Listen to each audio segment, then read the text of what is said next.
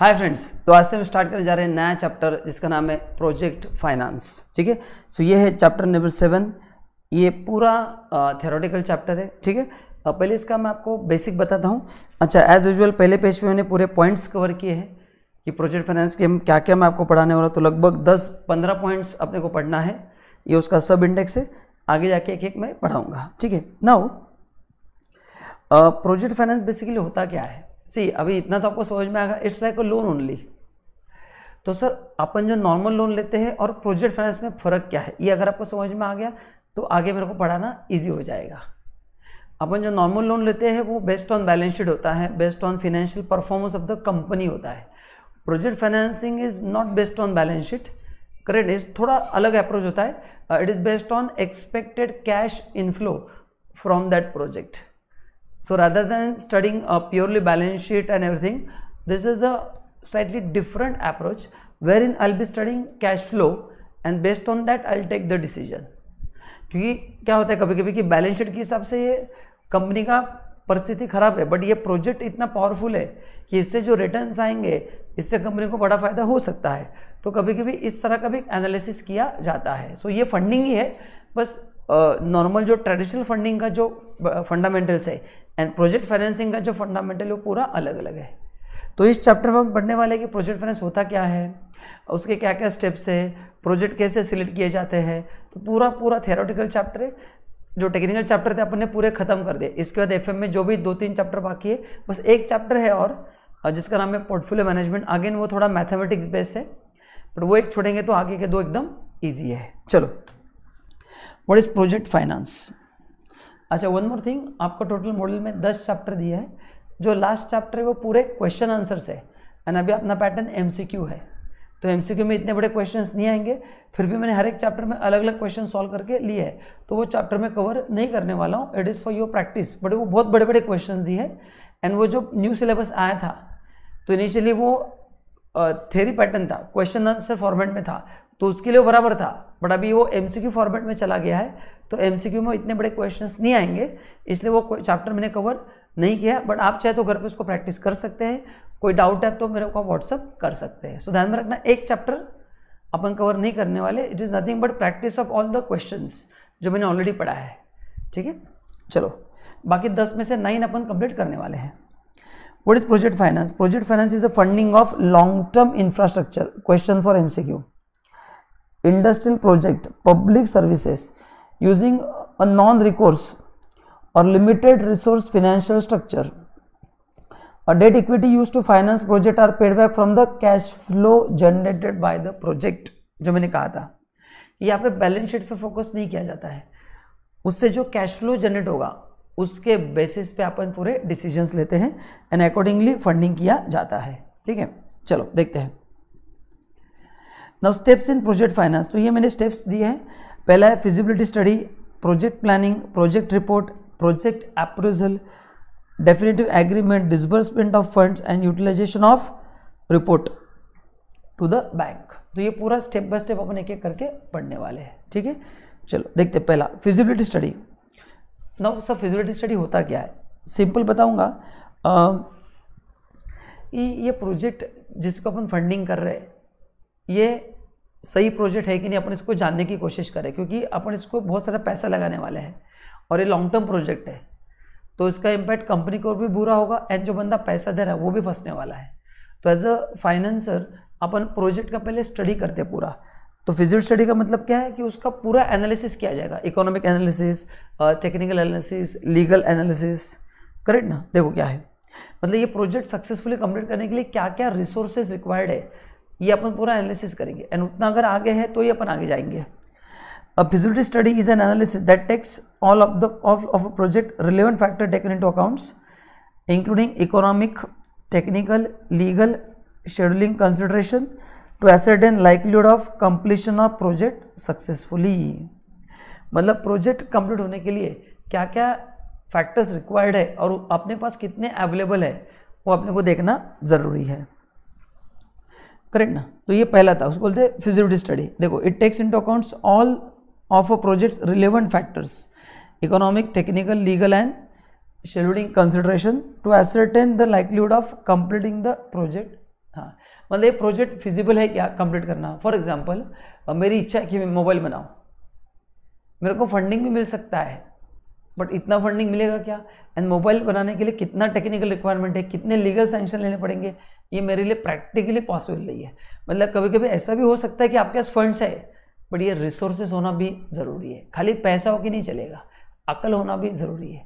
तो मेरे पास टेलीकॉम सेक्टर का कुछ भी टेक्निकल नॉलेज नहीं है लीगल पॉसिबल ही नहीं और इतने बड़े लोग कॉम्पिटिटर्स है, इनके साथ फाइट करना गवर्नमेंट के पॉलिसीज़ को मैनेज करना, इतना बड़ा आसान काम नहीं है।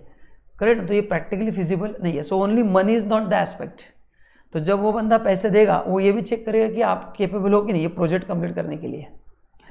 दूसरा market feasibility simple what is market feasibility अरे, आप जो बिज़नेस करने जा रहे हो ना, उसको मैं फंडिंग करने वाला हूँ। उस प्रोडक्ट को उतना डिमांड है कि नहीं? क्योंकि मैंने आपको फंडिंग तो कर दिया, लेकिन अगर आपको उतना रिक्वायर्ड सेल नहीं हुआ, आपको उतना प्रॉफिट नहीं मिला तो आप लोन रिपे नहीं कर पाओगे। करेक्ट ना? और मेरे को जो मेन इनकम है इंटरेस्ट इनकम वो नहीं मिलेगा। Study is conducted to evaluate whether potential demand for supply of proposed product service are there within or outside country?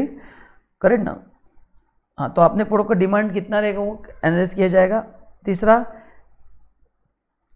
इसमें है technical feasibility study of technical aspect मतलब जो मैंने कहा कि अगर मेरे को मोबाइल का बिज़नेस स्टार्ट करना है तो मेरे पास टेक्निकल रिक्वायरमेंट बहुत ज़्यादा है। But if I decide to start food shop कोई मैंने होटल स्टार्ट करने का सोचा तो उसमें उतने टेक्निकल रिक्वायरमेंट्स नहीं है। करेक्ट ना?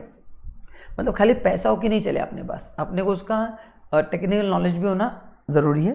देखो the study of technical aspect includes underline किया जाए viable technology its alternative availability of raw material other resources product mix product cost capacity utilization and environmental factors तो ये सभी फैक्टर का आपको एनालिसिस करना पड़ेगा तभी ये हो पाएगा। करेक्ट ना? देन फिनेंशियल फिजिबिलिटी सबसे इंपॉर्टेंट है। उसमें क्या होगा? फिनेंशियल फिजिबिलिटी का मतलब है प्रॉफिटेबिलिटी आप जो बिज़नेस के लिए फंडिंग ले रहे हो, वो बिज़नेस में आपको फ़ायदा कितना मिलेगा? अभी फ़ायदा दो चीज़ों पर रहता है. Difference between purchase price and difference between purchase and sale price तो परचेज सेल प्राइस अभी अपन ने क्या एज्यूम किया है? उसमें वेरिएशन क्या क्या हो सकते हैं? क्या क्या चेंजेस होते हैं? प्लस माइनस ये सब समझ के देखना पड़ेगा इसमें कितना प्रॉफिट मिलेगा। अभी एक्स नंबर ऑफ़ कॉम्पिटिटर है। कल जाके एक्स प्लस भी हो सकते हैं। अभी गवर्नमेंट का ये पॉलिसी बाद में गवर्नमेंट का पॉलिसी चेंज भी हो सकता है रिगार्डिंग प्राइसिंग ऐसा हो सकता है। The required detail analysis of projection of prices of inputs and output देख, वही दिया है। फाइनेंसिंग मिक्स फाइनेंसिंग मिक्स का मतलब है डेट इक्विटी रेशो क्या होना चाहिए? आप फंडिंग कहाँ से लोगे? रिपेमेंट शेड्यूल कैसा होना चाहिए? फिनेंशियल फोरकास्ट रिस्क कितना उसमें इन्वॉल्व है? ये सब एनालिसिस किया जाएगा। तो ये पहला था फिजिबिलिटी स्टडी फिजिबिलिटी स्टडी में तीन होते हैं। क्या तीन? Market feasibility technical feasibility and financial feasibility चलो अपन एक चार्ट बनाते फटाफट। हेडिंग लिखो स्टेप्स इन प्रोजेक्ट फाइनेंस लिखो।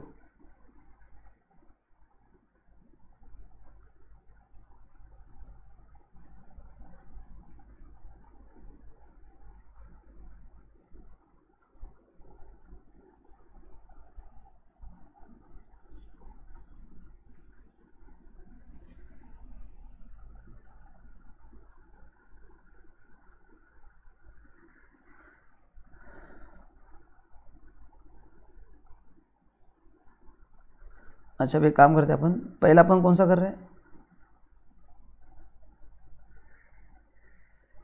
पहला अपन ने किया फिजिबिलिटी स्टडी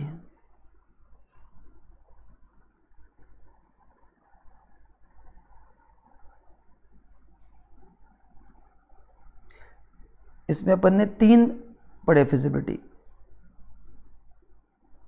बराबर ना? कौन से तीन?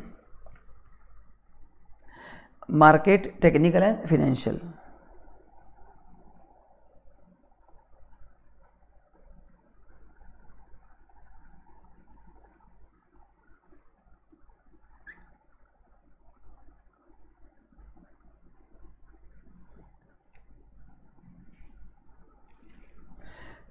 so market feasibility financial feasibility and technical feasibility ये तीन अपन ने देखे। अच्छा मार्केट में क्या क्या देखना है अपने को? Demand and supply. लिखो। सो so, मार्केट में अपने को देखना है demand and supply position.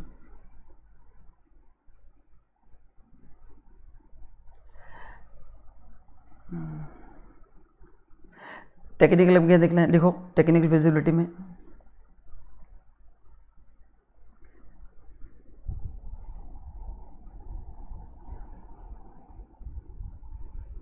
Technology and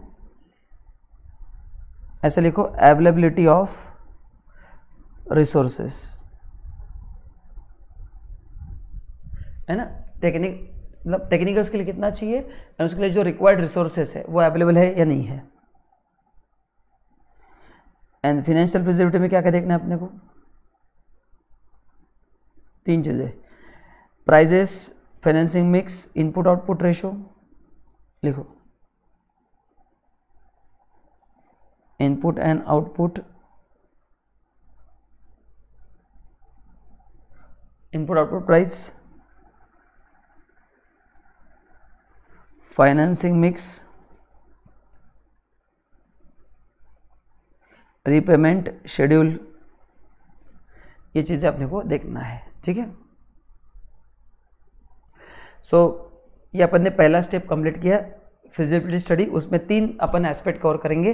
एक मार्केट फिजिबिलिटी दूसरा टेक्निकल फिजिबिलिटी तीसरा फिनेंशियल फिजिबिलिटी लिख लो इतना। तो ऐसे अलग अलग चार्ट बनाएँगे, क्योंकि एक चार्ट नहीं बनेगा, ये बहुत बड़े, बहुत स्टेप्स है उसमें। बस यही आपको एमसीक्यू के हिसाब से अच्छे से लर्न करना इसलिए मैं आपको मेन पॉइंट्स लिख के दे रहा हूँ। चलो फटाफट लिख लो, फिर अपन आगे बढ़ते हैं।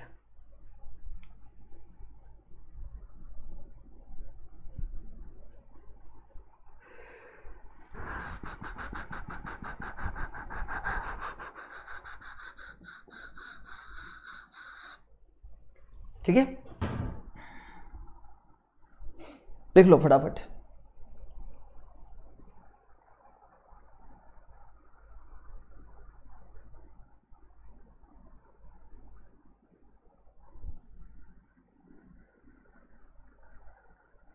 आगे। नेक्स्ट जो सेकेंड स्टेप है, वो है प्रोजेक्ट प्लानिंग तो पहला ऑन पेपर देखो कि प्रोजेक्ट फिजिबल है कि नहीं? एंड अगर फिजिबल है in terms of all aspect technical government legal financial तो फिर आगे बढ़ के प्रोजेक्ट की प्लानिंग करना है। Project planning project planning define the project activity and end product that will be perform and describe how the activity be accomplish the purpose of project planning is to define each major risk estimate the time and resources required provide framework for the management review and control मतलब क्या है कि execution अपन ने जो plan किया, उसका execution कैसे करना है is nothing but project planning जैसे ऑडिट में था ना ऑडिट प्लान ऑडिट प्लान का मतलब क्या है? मैं कंपनी को देख के डिसाइड करता हूँ कि कितने समय में काम कंप्लीट करना है, कौन सा काम कब करना है, कौन सा काम किसको अलोकेट करना है, कितने समय में कंप्लीट करना है. वैसे हम करते हैं ना ऑडिट प्लानिंग वैसे यहाँ पे है प्रोजेक्ट प्लानिंग तो स्टार्ट टू एंड ये प्रोजेक्ट कंप्लीट करने को कितना समय लगेगा? उसका एलोकेशन ऑफ़ वर्क कैसे करना है, ये सब इसमें रहेगा। तो ये पॉइंट हाईलाइट करना। डिफाइन ईच मेजर टास्क मतलब इसमें क्या क्या आपको एक्टिविटी स्टेप्स करना है, फिर बाइंग ऑफ़ मशीनरी हो सकता है है ना? देन एम्प्लॉय को ट्रेनिंग लेना हो सकता है इंफ्रास्ट्रक्चर खड़ा करना हो सकता है आर एन डी सेंटर खड़ा करना हो सकता है। बहुत सारा, हर एक एक्टिविटी मेजर टास्क में मार्केटिंग है फिनेंस एक्टिविटी है प्रोडक्ट लॉन्च है, सब कुछ है। Estimate time and resource required yes कितने समय में प्रोजेक्ट कंप्लीट करना है? एंड फिर उसको जो आपने प्लान किया है, वो हो रहा है कि नहीं हो रहा है? उसके लिए एक प्रॉपर मैनेजमेंट रिपोर्टिंग सिस्टम चाहिए और उसका रिव्यू का भी सिस्टम होना ज़रूरी है। ताकि जो भी चीज़ें गलत हो रही है, उसको इम्प्रूव कैसे किया जाए अपन देखेंगे। एंड अगर अच्छी चीज़ें हो रही है तो फिर और इसको इम्प्रूव कैसे किया जाए, ये हम चेक कर सकते हैं। ना प्रोजेक्ट प्लानिंग में क्या क्या इन्वॉल्व देखो। The specific work to perform and the goals that define and bind the project मतलब कौन सा काम कौन करेगा? मतलब इंफ्रास्ट्रक्चर का, जैसे बड़े बड़े कंपनीज़ में ना ये होता है। मतलब इंफ्रास्ट्रक्चर का एक हेड रहता है तो पूरे कंपनी में जो भी इंफ्रास्ट्रक्चर बनेगा, वो पूरा वही देखता है। तो यहाँ पे आपको हर एक बंदे को रिस्पॉन्सिबिलिटी अलोकेट करनी असाइन करनी पड़ेगी। ये काम तू देखेगा, ये काम तू देखेगा, ताकि उसको समझ में आए कि एग्जैक्ट उसको क्या करना है। That define and bind the project estimate the, estimate to be documented for planning, tracking, and controlling the project. ना एस्टिमेशन बनाओ कि एस्टिमेशन मतलब अपन इसमें स्टैंडर्ड सेट करेंगे कि इतना इतना इतने समय में काम होना चाहिए इतना खर्चा होना चाहिए इतना आउटपुट होना चाहिए उसको अपन एक्चुअल के साथ कंपेयर करेंगे ताकि जो गलत हो रहा है डेविएशंस अपने को पता चलेंगे। Commitments that are plan documented agreed by हाँ मतलब यहाँ पे है फिक्सिंग अप रिस्पॉन्सिबिलिटी एक ग्रुप को एक टास्क दिया तो उन्होंने उसको कंप्लीट करना है।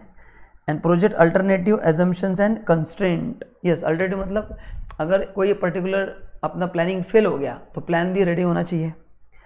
कौन से एजम्पन के बेसिस पे हम ये काम करने जा रहे हैं? क्या क्या उसमें कंस्टेंट है? कभी कभी फाइनेंस कंस्टेंट रहता है। कभी टेक्निकल रिसोर्स कंस्टेंट रहता है। कभी ह्यूमन रिसोर्स कंस्टेंट रहता है। गवर्नमेंट पॉलिसी कंट्रोल रहते हैं।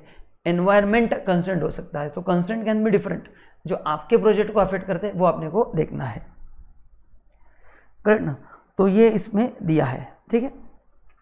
तो in simple word project planning होता क्या है? स्टार्ट टू एंड अपने को प्रोजेक्ट एग्जीक्यूट करने के लिए क्या क्या चाहिए? हर एक काम को एक आदमी को डिफाइन करो, उसका गोल सेट करो एंड उसका परफॉर्मेंस रिव्यू करो। बस ये सब आपको करना है। Simple now next importance of वही पॉइंट कंटिन्यू चल रहा है importance of project plan project planning होता क्या? It's a formal approve document that is use to manage and control a project मतलब ये प्रोजेक्ट आगे कैसे लेके जाएँगे? ये एक बार अगर प्लान फिक्स हुआ, जैसे जब बिल्डिंग बनता है ना बिल्डिंग का प्लान पहले ही फाइनल होता है। ताकि वहाँ पे जितने भी लोग काम कर रहे हैं, उनको पता है कि यहाँ पे यही चीज़ बनने वाली है, यहाँ पे यही बनेगा, यहाँ पे यही बनेगा, ताकि सब लोग एक ही डायरेक्शन में आगे चढ़ते हैं। अगर प्रोजेक्ट प्लान ही रेडी नहीं रहेगा कि पहला कौन सा काम होगा दूसरा कौन सा होगा तीसरा कौन सा होगा आ, कैसे होगा कितने समय में होगा who will be the key person who will take that responsibility who will accomplish it किसको रिपोर्ट किया जाएगा करेक्ट ना हर एक का इवेल्यूशन कैसे किया जाएगा ये सब इसमें रहता है The information associated with the plan evolves as the project moves through its various stages and is to be updated. New information afforded about the project Yes. तो उसमें कुछ नई चीज़ें मिलती है तो उसमें आपको ऐड करना है।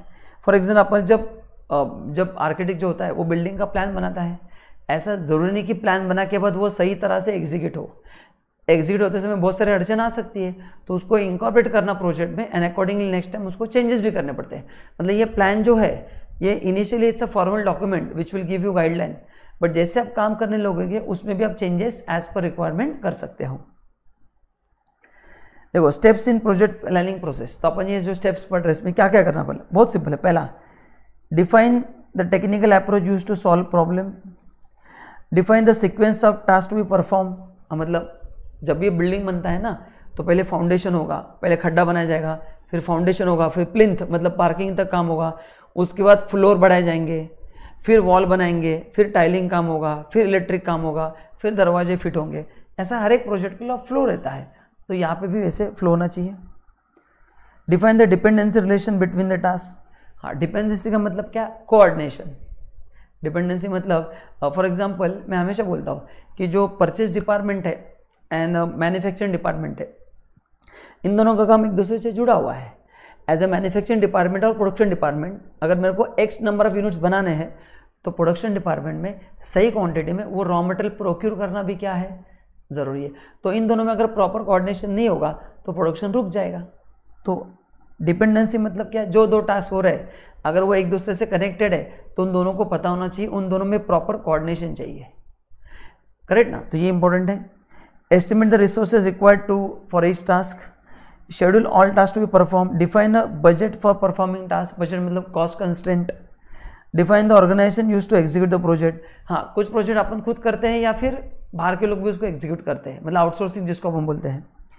Identify the known risk in executing the project define the process for ensuring quality ये क्वालिटी चेक कैसे करेंगे अपन? तो बहुत सारे उसमें ऑप्शन रहते हैं। बाहर के एजेंसी भी करवा सकते हैं या खुद की एजेंसी भी क्वालिटी टेस्टिंग हो सकता है। मोस्टली जो बड़े बड़े कंपनीज़ वो खुद ही करते हैं। Define the process use for specifying and controlling the requirements ये भी है।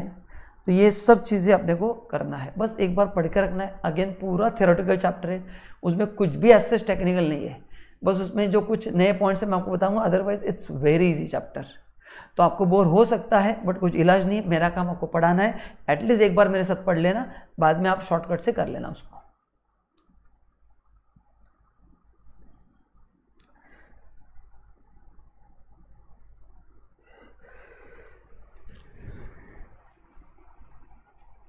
ठीक है? अब इसमें हाँ अभी देखो अभी प्रोजेक्ट प्लानिंग को तीन पार्ट में इसमें डिवाइड किया है। पहला strategic planning concept definition and planning risk ID correct ना? मतलब क्या देखो बता दो एक करके। अच्छा ये हटा दो आप।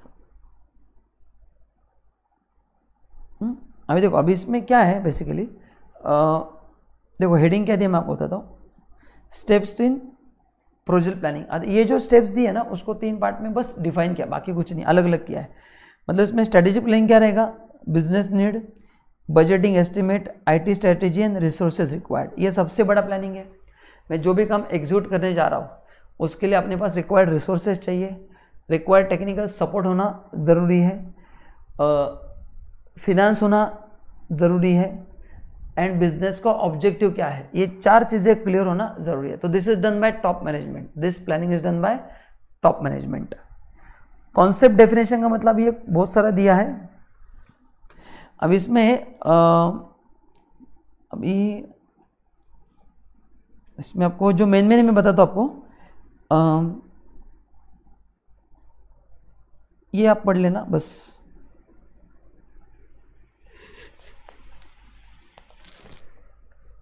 मतलब क्या है? अभी स्ट्रैटेजी प्लानिंग होने के बाद प्रोजेक्ट को आगे कैसे लेके जाना है? फॉर एग्जांपल इसमें क्या दिया मैं आपको पहले बताता हूँ। लेट से मेरे को कोई प्रोडक्ट बनाना है। लेट से मैं अच्छा और सिंपल एग्जांपल देता हूँ। मेरे पास दो ऑप्शन है। ये एक चीज़ मैं खुद बना सकता हूँ या बाहर से खरीद सकता हूँ। तो मेरे लिए कौन सा ऑप्शन बेटर रहेगा? मैं खरीदूँगा तो कॉस्ट कितना आएगा? मैं बाहर से लूँगा मतलब खुद बनाऊँगा तो कॉस्ट कितना आएगा?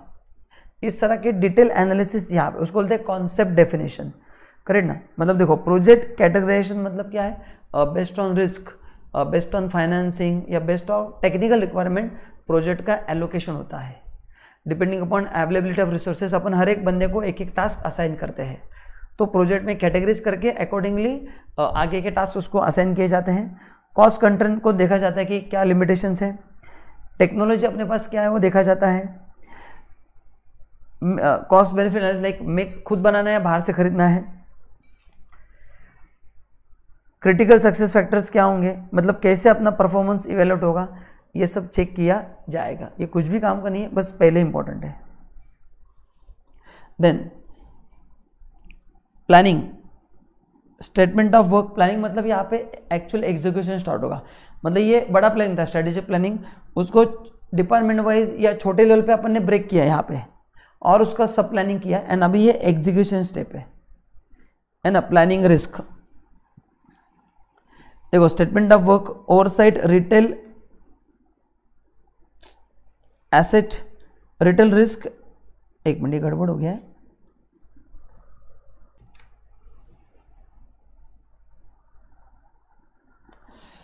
और risk L pre project team organization project budget estimate time frame key schedule अब इसमें क्या क्या इंपॉर्टेंट मैं आपको बताता हूँ बहुत सारे टेक्निकल वर्ड्स हैं जो आपने को जानने की ज़रूरत नहीं है। मैं जो आपको बता रहा हूँ, आप उस पर टिक करके रखना स्टेटमेंट ऑफ़ वर्क मतलब यहाँ पे अपन एग्जीक्यूशन करेंगे तो यहाँ पे जो काम है उसको स्मॉल स्टेप्स में ब्रेक किया जाएगा।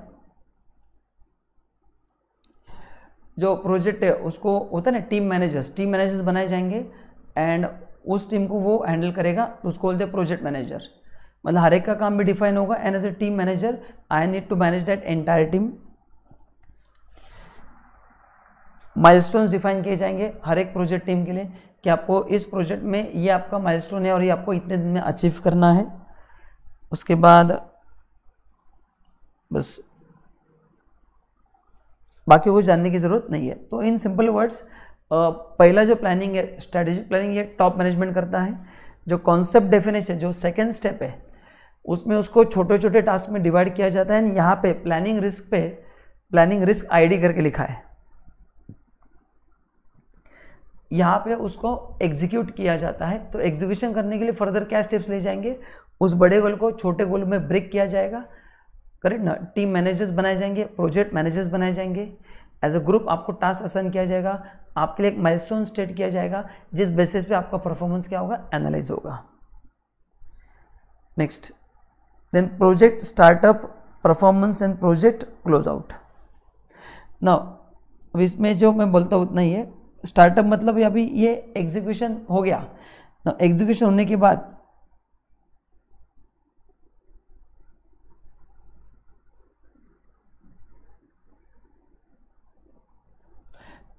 चार चीज़ें आपको आइडेंटिफाई करना है कि अपन ने जो प्लान किया था, वो प्रोजेक्ट अपन एग्जीक्यूट कर रहे हैं, वो प्रोजेक्ट कंप्लीट करने के लिए कितना समय लगेगा? करेक्ट ना? देन सी ऊपर के जो दो स्टेप्स है, यहाँ पे यहाँ पे अपन खाली ऑन पेपर प्लानिंग किया था। जो ऑन पेपर आप प्लान कर रहे हैं, उसका एग्जीक्यूशन वैसे होगा, उसकी गारंटी नहीं है। तो डिटेल प्रोजेक्ट शेड्यूल का मतलब वही है कि आपने जो एग्जीक्यूशन स्टार्ट किया, उस बेसिस पे आपको आइडिया आता है। जैसे फॉर एग्जांपल हम जब ऑडिट करने जाते हैं ऑन पेपर प्लानिंग होता है बट जब काम करने लगते तो समझ में आता है कि इसमें अंदर और गड़बड़ है, और कचरा भर के रखा है क्लाइंट ने। तो it takes more time so this is based on actual implementation schedule बनाओ। ऊपर अपन ने टेंटेटिव पूरे प्रोजेक्ट के लिए बनाया था but now this is based on actual execution project में रिस्क है उसको आइडेंटिफाई करो। एंड डिटेल स्पेसिफिकेशन मतलब और क्या डिटेलिंग चाहिए, और क्या चीज़ें चाहिए प्रोजेक्ट कंप्लीट करने के लिए, उसका एनालिसिस करो। ये चार देन परफॉर्मेंस का मतलब है, आप हर एक का परफॉर्मेंस यहाँ पे इवेल्यूट करो। आपने जो ऊपर के दो स्टेप्स में अपन ने हर एक को टारगेट सेट किया था, हर एक के लिए माइलस्टोन सेट किए थे, वो उसके हिसाब से उनका काम कितना हो रहा है, वो डिफाइन करो, उनको रिवॉर्ड दो, नहीं हो रहा है तो फिर बताओ क्या करना है। तो ये देखो दिया है। Current estimate to complete plan versus actual schedule plan versus actual staffing कितना यूज़ हुआ है? रिक्वायरमेंट कितने चेंज हुए हैं? जैसे अपन प्लान किया था, उसके हिसाब से हुआ है या कुछ अलग ही हुआ है? बस इतना ही है। एंड लास्ट जो मैंने कहा था अवार्ड दो। जिन्होंने अच्छा काम किया, जिन्होंने टाइमली कंप्लीट किया, उस टीम को अवार्ड दो। फाइनल कॉस्टिंग निकालो, कितना हुआ है? करेक्ट ना? बस एंड प्रोजेक्ट को क्लोज करो। तो ये उसके स्टेप से, ये डायग्राम इतना इंपॉर्टेंट नहीं है, बस एक जनरल दिया है मैंने आपको, इसलिए पढ़ा दिया। आप इसको एक बार पढ़ के छोड़ देना।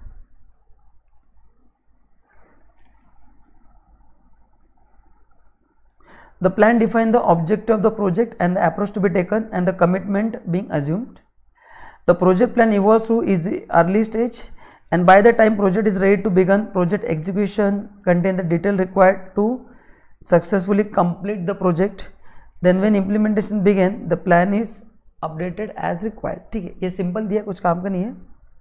अभी देखो, अभी इसमें ना ये जो अपन ने डायग्राम पढ़ा, उसको अभी डिटेल फॉर्मेट में नीचे दिया है। देखो, पहला। Planning the planning in the concept phase मतलब मेरे दिमाग में कुछ है। है ना? प्रोजेक्ट प्लानिंग का मतलब क्या? पहले मेरे दिमाग में आइडिया होना चाहिए कि ऐसा कुछ तो भी करना चाहिए। तो वही दिया है।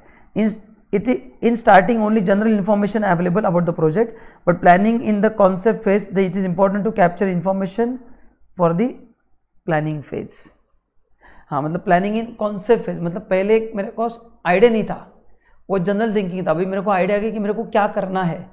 तो उसके बाद जो थिंकिंग होगा, उसको बोलते हैं कॉन्सेप्ट फ़ेज़ कॉन्सेप्ट फ़ेज़ मतलब ना मेरे को क्लैरिटी है कि मेरे को कौन सा प्रोजेक्ट करना है। उसके बारे में पूरा इन्फॉर्मेशन गैदर करना है। देखो, इसमें क्या था? In this stage the focus on planning is on correct ना? मतलब कॉन्सेप्ट फ़ेज़ में फोकस किस पर रहेगा? प्लानिंग का। अच्छा अपन जो भी पढ़ रहे हैं, वो प्रोजेक्ट प्लानिंग ही पढ़ रहे हैं। तो प्रोजेक्ट प्लानिंग कौन से कौन से एरियाज़ में करना पड़ता है, ये मैं आपको पढ़ा रहा हूँ। The project definition and the getting the proper project, getting the project underway हाँ मतलब एग्जैक्टली अपना प्रोजेक्ट डिफाइन करो। एंड डिफाइन करने के बाद प्रोजेक्ट को आगे लेके जाने के लिए क्या क्या रिक्वायर्ड है, वो डिफाइन करो। Strategy for deriving solution for stated goals ठीक है? A problem being address by the project clearly stated हाँ मतलब इसमें कुछ इशू आ रहा है तो उसका क्लैरिटी होना चाहिए कि एग्जैक्टली किस तरह का प्रॉब्लम आ रहा है। The project goals and object identify same same theory दिया है। Success character for the project मतलब मैंने जो कहा था कि आ, उसके माइलस्टोन स्टेट करो प्रोजेक्ट से अपने को अचीव क्या करना है वो देखो।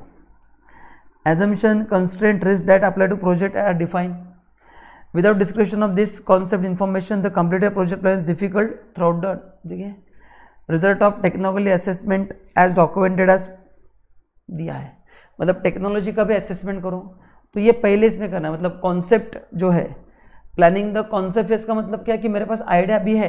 मेरे को पता है कि एग्जैक्टली exactly मेरे को कौन सा प्रोजेक्ट करना है। तो उसमें प्लानिंग पहला कौन सा प्लानिंग होना चाहिए उन्होंने दिया है। कि आप आपका प्रोजेक्ट डिफाइन करो स्ट्रैटेजी डिसाइड करो। स्ट्रैटेजी मतलब आपको जो अचीव करना है, उसके लिए क्या रिक्वायरमेंट है? करेक्ट ना? तो उसमें क्या क्या प्रॉब्लम आ सकते हैं, उसका क्लियर इंडिकेशन दो। गोल्स एंड ऑब्जेक्टिव डिफाइन करो। एजम्पन्स क्या है? रिस्क क्या है? कंस्टेंट क्या है उसमें? वो गोल अचीव करने के लिए वो डिफाइन करो।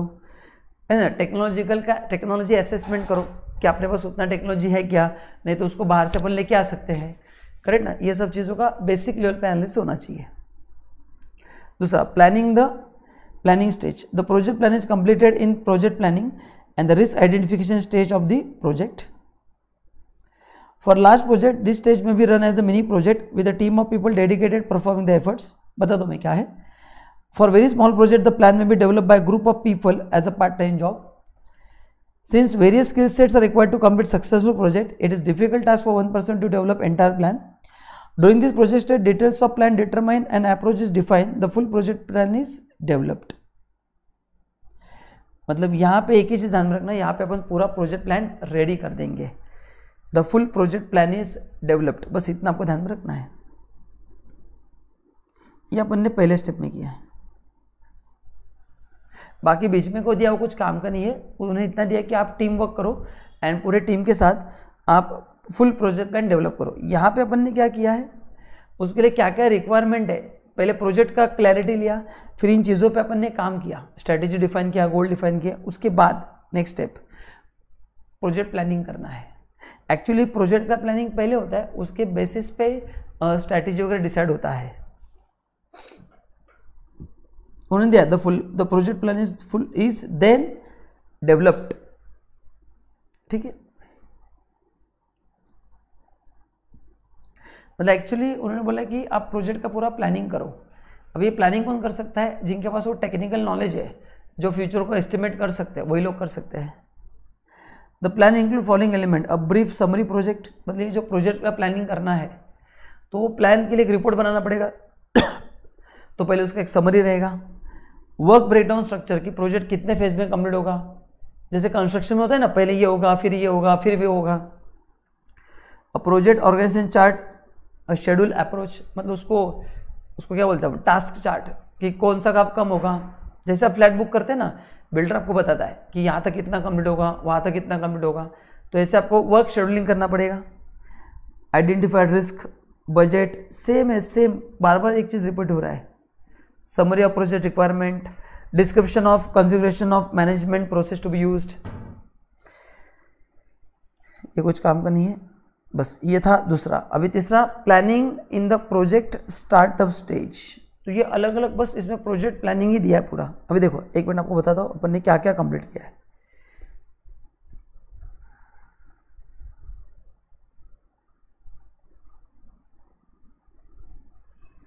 अपन ने एक कंप्लीट किया फिजिबिलिटी स्टडी दूसरा, ये सब प्रोजेक्ट प्लानिंग में ही अपन है। प्रोजेक्ट प्लानिंग में अपन ने क्या क्या कंप्लीट किया? पहले अपन दिखा कि प्रोजेक्ट प्लानिंग में क्या क्या इंक्लूड रहता है? सेकंड उसका इम्पोर्टेंस देखा। तीसरा स्टेप्स देखा। ये स्टेप्स का ही पार्ट है।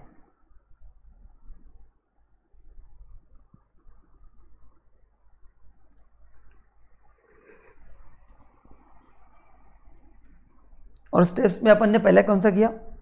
Planning the concept phase concept मतलब बस पहले आइडिया होना चाहिए कौन से प्रोजेक्ट पे मेरे को काम करना है। प्लानिंग स्टेज का मतलब एग्जीक्यूशन है और उसमें और दो स्टेप्स है। Planning in the project startup stage and और एक है planning in the project execution stage मतलब हर एक स्टेज पे आपको प्लानिंग करना ही पड़ता है। मतलब जो आइडिया है उसको इवेल्यूट करने के लिए प्लान करना पड़ता है। फिर एक बार सॉर्ट आउट किया तो उसको एग्जीक्यूशन के लिए प्लान करना पड़ता है।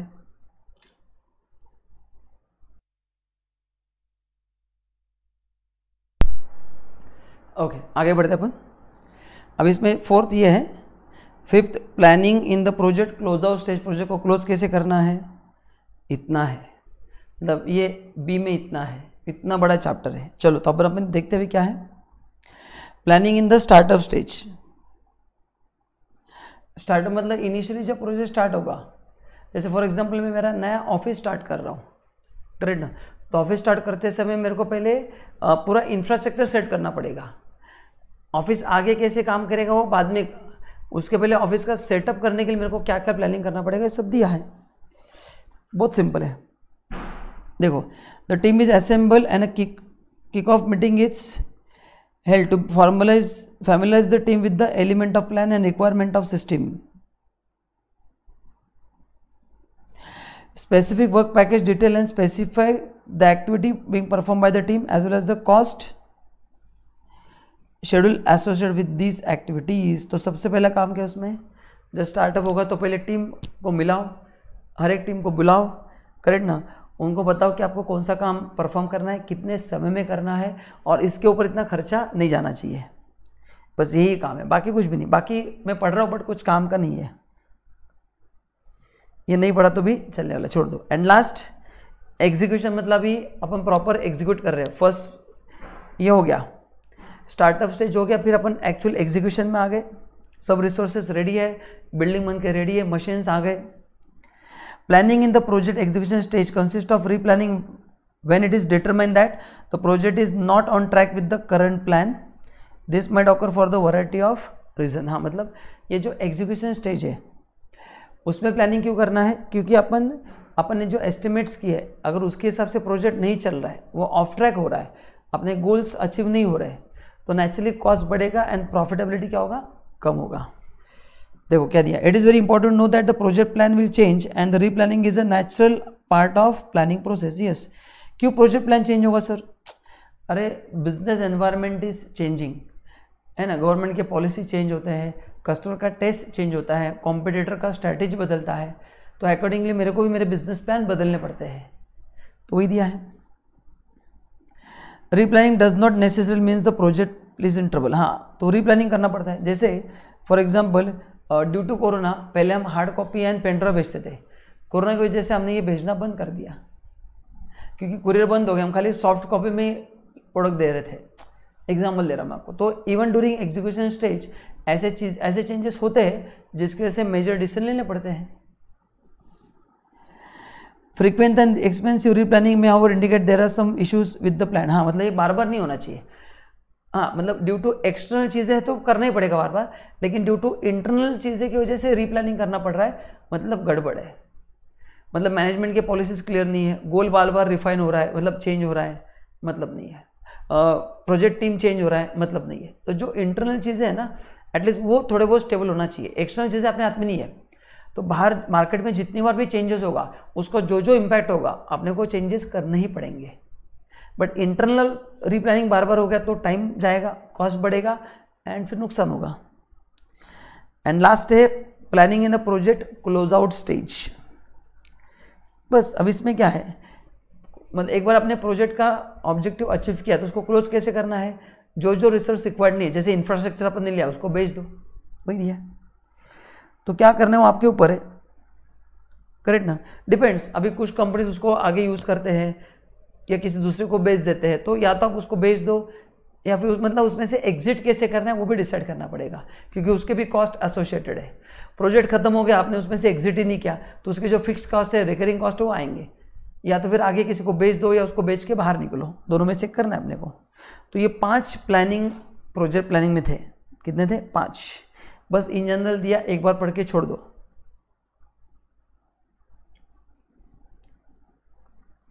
है ना? तो दूसरा अपन ने क्या पढ़ा? लिखो हेडिंग प्रोजेक्ट प्लानिंग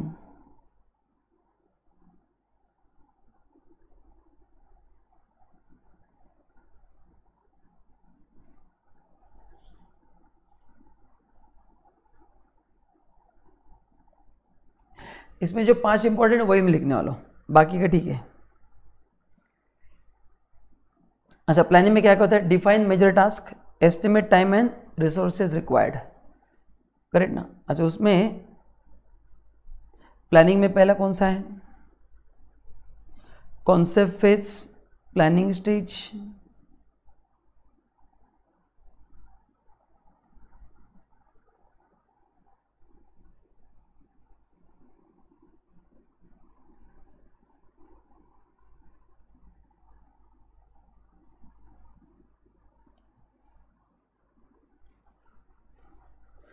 पहला अपन देखा था कॉन्सेप्ट स्टेज दूसरा प्लानिंग फ़ेज़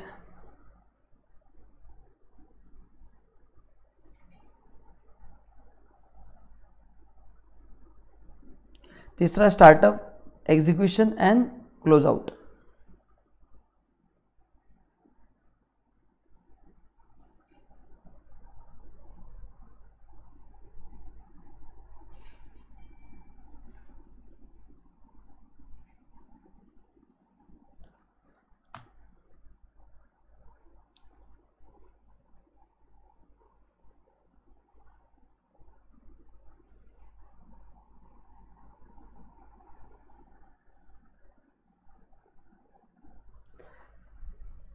तो कॉन्सेप्ट स्टेज मतलब अपने को वहाँ पे पहले बेसिक आइडिया डेवलप करना है कि कौन सा प्रोजेक्ट हाथ में लेना है। प्लानिंग फ़ेज़ का मतलब क्या? बेसिक काम करो।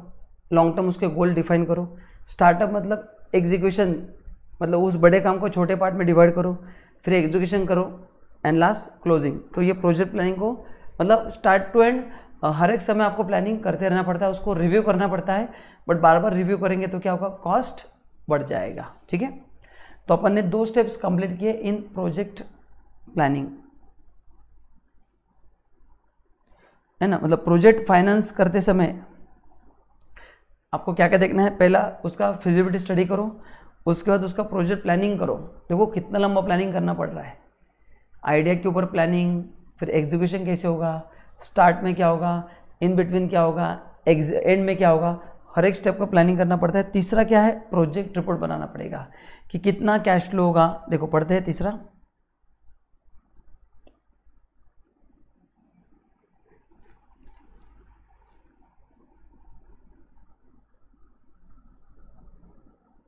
हाँ दिया है।